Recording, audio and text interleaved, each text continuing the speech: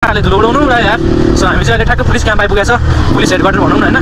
So यही बाटोबाट हो जाने चाहिँ तारबिर हुँदै जाने आज चाहिँ।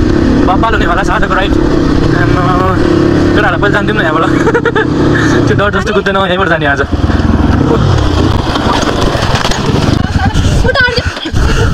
कस्तो गोरु नि हो। लड्दैन थियो मैले खुट्टा टेकिसकेको थियो। पेट्रोल चुयो पेट्रोल चुयो पेट्रोल चुयो। थ्री टू वान त्यो भने म यहाँ खुट्टा टेकिसकेको थिएँ।